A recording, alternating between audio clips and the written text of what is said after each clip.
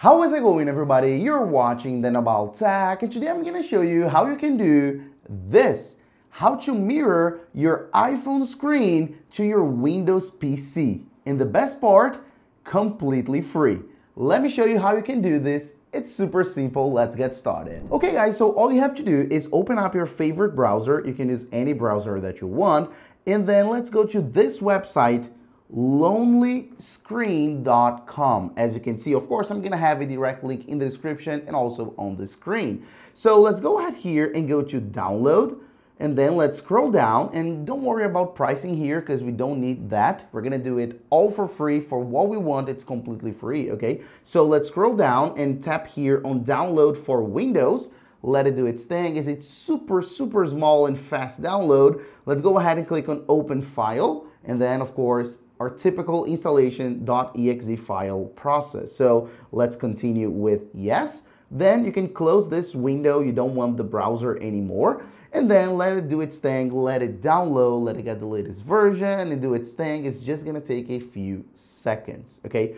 Then, as you can see, it's ready to install, so you can click on install. Right here is gonna ask for the location. You can go for the standard location or change if you want to. And then let's click on next, and then it's gonna install as easy as that, pretty much instantly. It's gonna open up the browser once again, but of course, you don't need that. You can close any other window. It's already done, and that's what we want.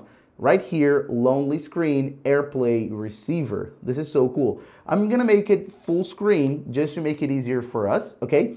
And right here is gonna ask for a activation. You don't need to subscribe, you don't need to activate. You can click on maybe later and it won't bother you, all right? And then all you have to do really is grab your iPhone and then we're actually gonna use AirPlay.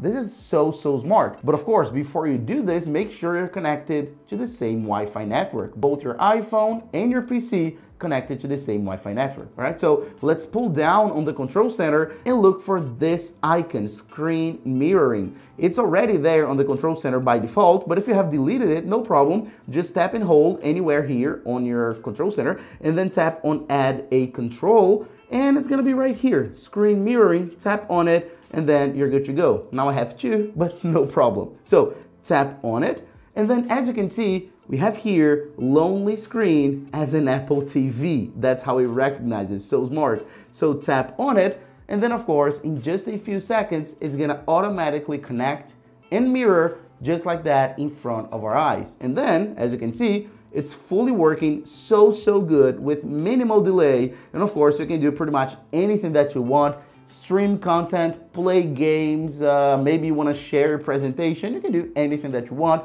And then of course, you are good to go. Of course, if you want to, you can adjust the screen size, make it smaller or larger, make a, maybe put it to the side in a corner or something like that. It's up to you. You can do whatever you want. And then that's literally it. That's how you mirror your iPhone screen to your Windows PC updated method completely free. Thanks for watching, and I'll see you in the next video as usual, guys. Bye-bye.